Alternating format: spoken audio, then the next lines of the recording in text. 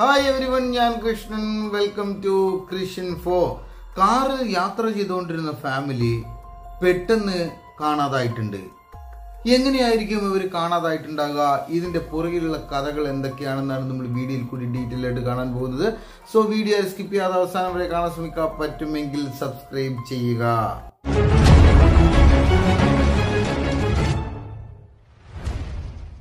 കേനറ്റ് Martin എന്ന് പറയുന്ന ഇദ്ദേഹം ഒരു ഇലക്ട്രോണിക്സ് കമ്പനിയിൽ സൂപ്പർവൈസറായിട്ട് അദ്ദേഹം ജോലി നോക്കിക്കൊണ്ടിരുന്നിട്ടുണ്ട്. ഡിസംബർ ഒൻപതാം തീയതി ആയിരത്തി തൊള്ളായിരത്തി എൺപത്തി എട്ട് തന്റെ ജോബിന്റെ റിപ്പോർട്ട് അദ്ദേഹത്തിന് സമർപ്പിക്കാനുണ്ടായിരുന്നു.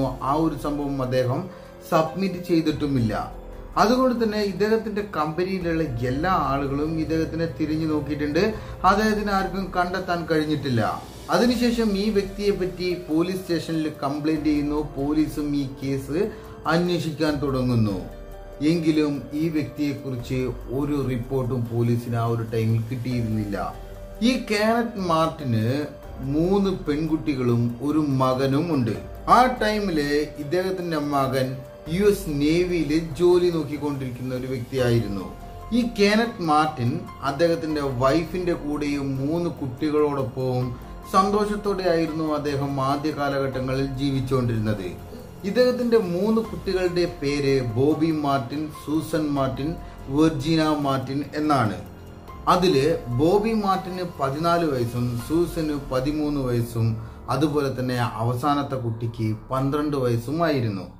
പോലീസ് ഇവരുടെ വീട്ടിൽ വന്ന് ഇവരെ നോക്കുന്നു. ഒരു വിവരവും ഇവരെ കുറിച്ചില്ല. അതുകൊണ്ട് ഇവരുടെ വീടിന്റെ വാതിലൊക്കെ പൊളിച്ച് നോക്കുന്നു. എങ്കിലും പോലീസിന് ഒരു വിവരവും തന്നെ കിട്ടിയിട്ടില്ല. ആ ഒരു ടൈമിൽ ഏകദേശം ആയിരത്തി തൊള്ളായിരത്തി എൺപത്തി എട്ടിൽ മാർട്ടിൻ തന്റെ ഫ്രണ്ടിന്റെ വീട്ടിലേക്ക് ക്രിസ്മസ് പാർട്ടിക്ക് വേണ്ടി പോയിട്ട് അദ്ദേഹം തിരിച്ചു വന്നിട്ടുണ്ട്.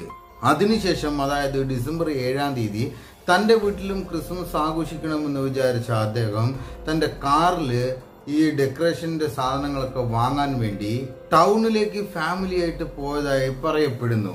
അങ്ങനെ പോലീസ് ആ ഒരു കടയിലേക്ക് പോയി അവരോട് ചോദിച്ചു നോക്കിയ സമയത്ത് മാർട്ടിൻ ഫാമിലിയോട് കൂടി സാധനങ്ങളൊക്കെ വാങ്ങാൻ വേണ്ടി ഈ ഷോപ്പിലേക്ക് വന്നതായി. ഇവിടെ വന്ന് സാധനങ്ങളൊക്കെ വാങ്ങി മാർട്ടിൻ ഇവിടുന്ന് പോയതായും ആ കട ഉടമകൾ പറഞ്ഞിട്ടുണ്ട്. അതിന്റെ തൊട്ടടുത്ത് തന്നെ ഒരു ഗ്യാസ് സ്റ്റേഷൻ ഉണ്ട്.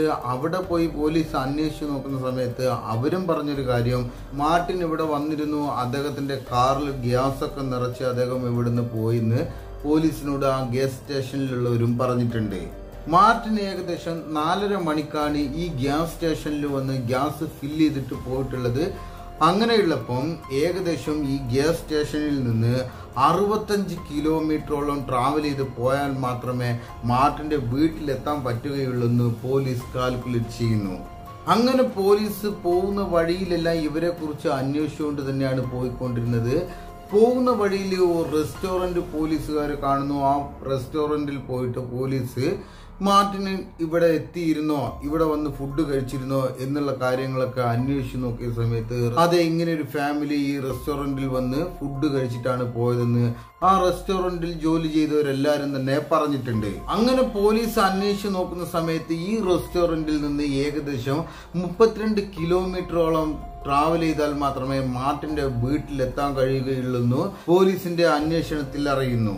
അതിനുശേഷം ആ റോഡിൽ കൂടി പോലീസ് എല്ലാ കാര്യങ്ങളും അന്വേഷിച്ചുകൊണ്ട് പോകുന്ന സമയത്ത് അവർക്ക് വീണ്ടും ഒരു ഇൻഫർമേഷൻ കിട്ടുന്നു.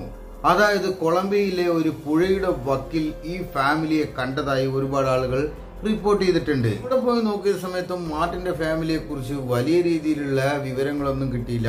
ഇങ്ങനെയുള്ള മാർട്ടിൻ ഫാമിലി ഇവർ ഗ്യാസ് ഫില്ല് ചെയ്തിട്ടുണ്ട് ഫുഡ് കഴിച്ചിട്ടുണ്ട് അതുപോലെ തന്നെ പുഴയുടെ സൈഡിൽ പോയിട്ടുണ്ട്. ഡെക്കറേഷൻ മെറ്റീരിയൽ എല്ലാം തന്നെ വാങ്ങിയിട്ടുണ്ട്. ഈ എല്ലാ സ്ഥലത്തും പോയ മാർട്ടിൻ ഫാമിലി എങ്ങോട്ടാണ് പോയത്? ഇവർക്ക് എന്താണ് സംഭവിച്ചതെന്ന് പോലീസിന് തന്നെ ആ ഒരു സമയത്ത് കൺഫ്യൂഷൻ ഉണ്ടാകുന്നു. അതിനുശേഷം പോലീസ് മാർട്ടിന്റെ വീട്ടിലേക്ക് പോയി അവരുടെ വീട് പൊളിച്ചു നോക്കുന്ന സമയത്ത് അവർ കഴിച്ചിട്ട് വെച്ച ഭക്ഷണത്തിന്റെ ബാലൻസ് അലക്കാനിട്ട് വെച്ചിരിക്കുന്ന തുണി മാർട്ടിന്റെ ബാങ്ക് ബാലൻസ് എല്ലാം തന്നെ വീടിന്റെ പല ഭാഗങ്ങളിലായിട്ട് പോലീസിന് കാണാൻ കഴിഞ്ഞിരുന്നു. അതിനുശേഷം മാർട്ടിന്റെ ഫോൺ കോൾസ് ലെറ്റേഴ്സ് ഇങ്ങനെയുള്ള എല്ലാ സാധനങ്ങളും പോലീസ് പരിശോധിച്ചു നോക്കുന്നു. എങ്കിൽ സംശയിക്കുന്ന രീതിയിലുള്ള ഒരു സംഭവം തന്നെ പോലീസിന് കിട്ടിയിരുന്നില്ല. അതിനുശേഷം കൊളംബിയയിലുള്ള ഒരു ഭാഗത്ത് രണ്ടാളുകൾ കാറ് കട്ട് കൊണ്ടുപോയിട്ട് അവർ കുടുങ്ങിയതായിട്ടുള്ള ഒരു റിപ്പോർട്ട് പോലീസിന് കിട്ടുന്നു. അതൊരു പക്ഷേ മാർട്ടിന്റെ കാറായിരിക്കാനായിരിക്കും സാധ്യത എന്ന് വിചാരിച്ച പോലീസ് ഉടനെ തന്നെ അങ്ങോട്ട് പോയിട്ട് ഈ കാര്യങ്ങളൊക്കെ അന്വേഷിക്കുന്നു. അപ്പോഴാണ് പോലീസിന് വലിയൊരു ന്യൂസ് തന്നെ കിട്ടുന്നത്. ആ ഒരു ന്യൂസ് എന്താണെന്ന് ചോദിച്ചു കഴിഞ്ഞാൽ മാർട്ടിനും ഫാമിലിയും ഒരു റെസ്റ്റോറന്റിൽ നമ്മൾ ഫുഡ് കഴിച്ചെന്ന് പറഞ്ഞില്ലേ ആ ഒരു റെസ്റ്റോറന്റിൽ നിന്ന് അവർ ഫുഡ് കഴിച്ചുകൊണ്ടിരിക്കുന്ന സമയത്ത് വലിയൊരു റോബറി ടീം ഇവരോടൊപ്പം ആ ഒരു റെസ്റ്റോറന്റിൽ വന്ന് ഫുഡ് കഴിച്ചതായും ഇവർ ഇറങ്ങിപ്പോകുന്ന സമയത്ത് ഇവരോടൊപ്പം തന്നെ ആ ടീം ഇറങ്ങിപ്പോയതായുമുള്ള അവിടെ ജോലി ചെയ്തുകൊണ്ടിരുന്ന ഒരു വ്യക്തി വന്ന് പോലീസിന്റെ അടുത്ത് പറഞ്ഞിട്ടുണ്ട്. പോലീസും ഈ കാറുകളെ പിടികൂടി ഈ കാറിനെ പറ്റി അന്വേഷിച്ച് നോക്കുന്ന സമയത്ത് അത് മാർട്ടിന്റെ കാറല്ല എന്ന് അവർക്ക് മനസ്സിലാകുന്നു. അതിനുശേഷം പോലീസും ഭയങ്കരമായിട്ട് ഡിപ്രഷനിലാകുന്നു. എന്ത് തന്നെ ഈ കേസിന്റെ പുറകെ നമ്മൾ ട്രാവൽ ചെയ്ത് നോക്കാലും മാർട്ടിനെ കുറിച്ചോ മാർട്ടിന്റെ ഫാമിലിനെ കുറിച്ചോ ഒരു വിവരവും തന്നെ കിട്ടുന്നില്ല എന്ന് ഇവരിങ്ങനെ ആലോചിച്ചുകൊണ്ടിരിക്കുമ്പോഴാണ് പോലീസിന് കൊളംബിയയിലുള്ള ഒരു ഭാഗത്ത് നിന്ന് രണ്ട് കൈ ഗ്ലൗസ് കിട്ടി എന്നുള്ള ഒരു റിപ്പോർട്ട് കിട്ടുന്നത്. ആ കൈ ഗ്ലൗസ് ചെക്ക് ചെയ്ത് നോക്കുന്ന സമയത്ത് ഈ രണ്ട് ഗ്ലൗസും മാർട്ടിന്റെ വൈഫിന്റെ കൈയിന് സെറ്റ് ആകുന്നത് പോലെയാണ് ഉണ്ടായിരുന്നത്. ഇതിനെക്കുറിച്ച് അന്വേഷിച്ച് നോക്കുന്ന സമയത്തും ആ കൈ ഗ്ലൗസും അവരുടേതല്ല എന്ന് മനസ്സിലാകുന്നു. എങ്കിൽ കൂടി ആ കയ്യുറ കിട്ടിയ സ്ഥലത്ത് നിന്ന് ഒരു കാർ ടയറിന്റെ അടയാളവും പോലീസിന് കിട്ടുന്നു. എങ്കിൽ ഈ കാറിന്റെ ടയറിന്റെ അടയാളം ചെക്ക് ചെയ്ത് നോക്കിയ സമയത്താണ് ഈ കാറിന്റെ ടയറിന്റെ അടയാളവും മാർട്ടിന്റെ കാറിന്റെ ടയറിന്റെ അടയാളവുമായിട്ട് സെറ്റ് ആവുന്നതായിട്ടുള്ള വിവരം റിപ്പോർട്ടുകളൊക്കെ പോലീസിന് കിട്ടുന്നത്. ഒരുപാട് കഷ്ടപ്പെട്ട് ആഴ്ചകളോളം മാർട്ടിനെ തിരിഞ്ഞു നടന്ന പോലീസിന് അപ്പോഴാണ് മാർട്ടിനെ കുറിച്ച് ഒരു വിവരം തന്നെ ലഭിക്കുന്നത്. ഒരുപക്ഷെ ഈ ഒരു കാറ് ഏതെങ്കിലും ആക്സിഡന്റിൽ വെള്ളത്തിലേക്ക് വീണതായിരിക്കുമോ എന്ന് ചിന്തിച്ച പോലീസ് ആ ഒരു പുഴയിലുള്ള എല്ലാ ഭാഗങ്ങളും തപ്പി നോക്കുന്നു. ഒരുപാട് റിസർച്ചും കാര്യങ്ങളൊക്കെ പുഴയെ ചുറ്റിപ്പറ്റി എല്ലാ ഭാഗത്തും പോലീസ് നടത്തുന്നു. അതിനുശേഷം അവിടെ ഉണ്ടായിരുന്ന ഒരു ഡാമിൽ അഞ്ചടിയോളം വെള്ളം ഒഴിവാക്കിയതിനു ശേഷം അതിന്റെ ഉള്ളിലെങ്ങാണ്ട് ഇവരുടെ കാറ് കുടുങ്ങിക്കിടക്കുന്നുണ്ടോ എന്ന് പറഞ്ഞ് സോളാർ സിസ്റ്റം പോലെയുള്ള എന്തോ ഒരു സിസ്റ്റം ഉപയോഗിച്ചിട്ട് പോലീസ് ചെക്ക് ചെയ്ത് നോക്കുന്നു. എങ്കിൽ അവിടെയും മാർട്ടിൻ ഫാമിലിനെ കിട്ടിയിട്ടില്ല. അതിനുശേഷം കൊളംബിയ റിവറിൽ നിന്ന് ഏകദേശം നൂറ്റിപ്പത്ത് കിലോമീറ്ററുകൾക്കപ്പുറം ഒരു ഡെഡ് ബോഡി കിട്ടുന്നു.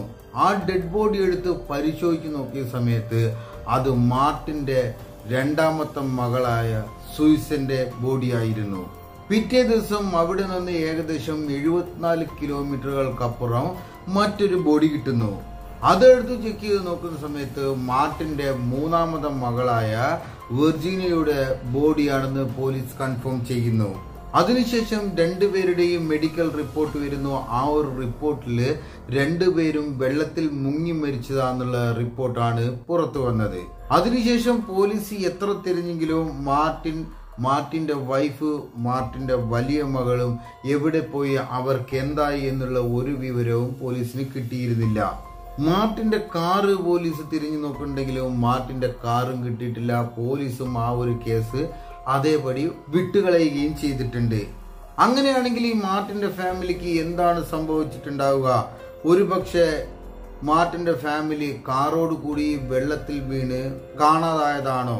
അതുമല്ലെങ്കിൽ മാർട്ടിനെയും മാർട്ടിന്റെ വൈഫിനെയും മാർട്ടിന്റെ മൂത്ത മകളെയും കൊള്ളക്കാരെങ്കിലും കിഡ്നാപ്പ് ചെയ്തതായിരിക്കുമോ?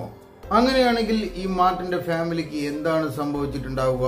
ഡിസംബർ എട്ടാം തീയതി കാറുകള്ളന്മാരെ പിടിച്ച് അന്വേഷിച്ച് നോക്കുന്ന സമയത്ത് മാർട്ടിനെ ഇവർ കണ്ടിട്ടേ ഇല്ല എന്നുള്ള ഒരു കാര്യവും പ്രൂവ് ആയിട്ടുണ്ട്. അങ്ങനെയാണെങ്കിൽ മാർട്ടിന്റെ ഫാമിലി എങ്ങോട്ടായിരിക്കും പോയിട്ടുണ്ടാവുക? ഇവർക്ക് എന്തായിരിക്കും സംഭവിച്ചിട്ടുണ്ടാവുക എന്നുള്ള ഒരു വിഷയം ഇന്നും ഒരു മിസ്റ്റീരിയസ് ആയിട്ടാണ് തുടരുന്നത്.